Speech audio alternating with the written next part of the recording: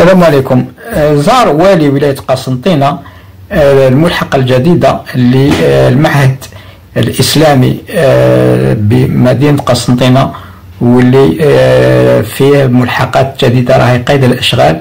وهذه المدرسة اللي كانت في الحقيقة في الأول كانت على مستوى الجامع عبد الحميد بن باديس بقسنطينة. الآن تغيرت المدرسة وفيه يعني إنجاز مدرسة جديدة للعلوم الإسلامية بقسنطينة وهذه وحدة ملحقة لهذه المدرسة اللي آه، أكيد ستعزز المنظومة آه، الجامعية وتدخل في إطار آه، تكوين الإطارات نتاع الشؤون الدينية في الشرق الجزائري. نترككم تتابعون السلام عليكم.